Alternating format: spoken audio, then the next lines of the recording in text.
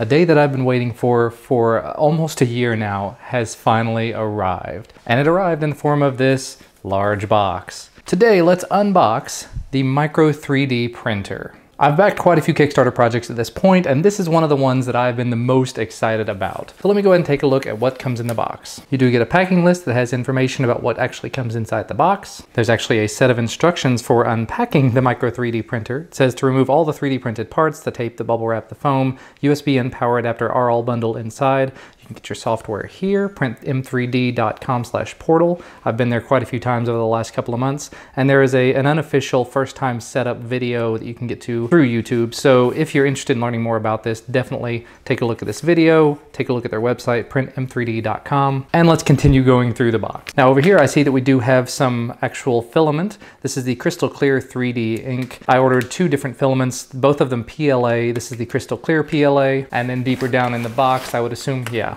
Here's the Deep Cobalt 3D ink, the Deep Cobalt PLA that I ordered as well. So now I can do some prints in deep blue color and in the clear color as well.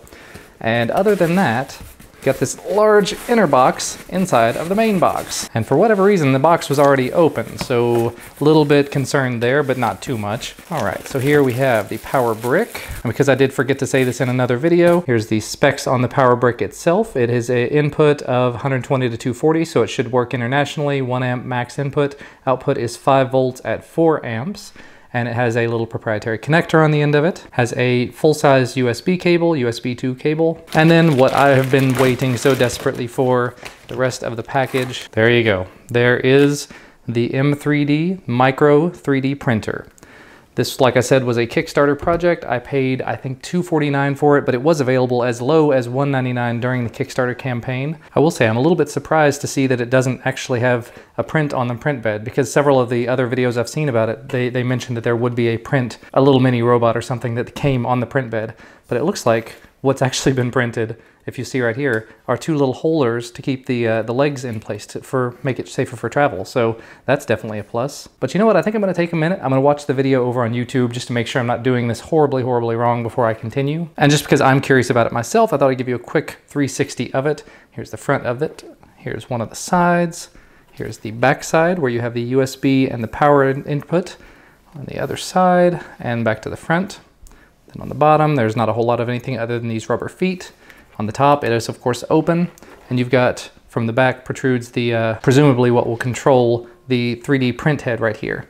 And it looks like it's got a little bit of this pink filament still left in it, so I'll have to get that out once we get started. Alrighty, and we are back. It's now several hours later, actually, and as you can probably see here, the first 3D print is completed.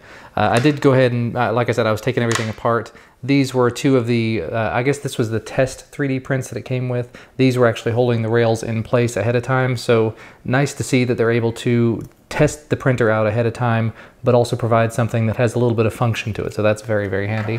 Uh, it did have a couple of pieces of foam in it as well as a ridiculous amount of tape, but you definitely want to hold everything steady whenever you're transporting it like that. As you saw earlier, I did have two things of 3D filament. One of them is actually inside the printer. I'm using the internal system. It only works with these smaller spools, but it is feeding directly into the rest of the printer through the print head. Took a little bit of time and effort to actually get all of this pink goo out of it first, uh, but after I got everything set up and going, it came through pretty quickly, pretty easily.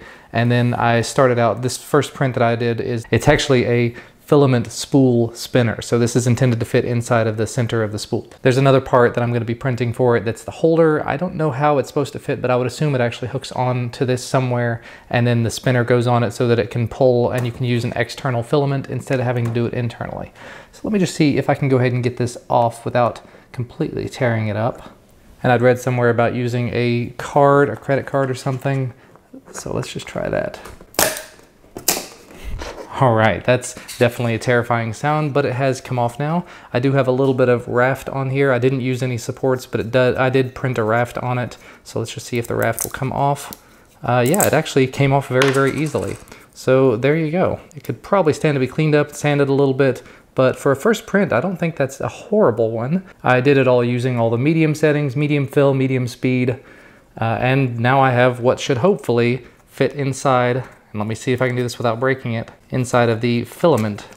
There you go, look at that. It's a little spinner. It immediately serves a purpose. I'm not gonna say it's the best spinner ever, but it definitely gets the job done. So next I'm gonna look into the hanger. I've already been on Thingiverse and I've downloaded about a half dozen different things that I'm gonna test print. Things like phone stands and different little figurines and characters. And all the while I'm doing this, I'm gonna be using this little Mobius action camera to do a time lapse of it. So hopefully you've enjoyed the little bit of a time lapse that I've had of this actually printing. I sped it up, I did one frame every five seconds and then I sped that up two times. So it should only be about 30 seconds worth of footage.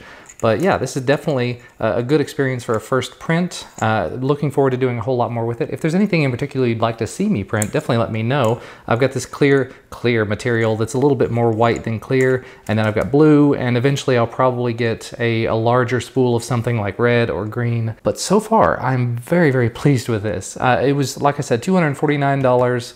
Uh, then another spool I think was an extra $12, so a total of like $275 total uh, got me a 3D printer where I can store the 3D filament inside of the printer. It's all self-contained and everything. Very, very nice. But that is going to be about all for me for today. If you like this kind of video, leave me a thumbs up down below the video. Subscribe to receive more videos like this. And I will see you again the next time I post a video. Bye, guys.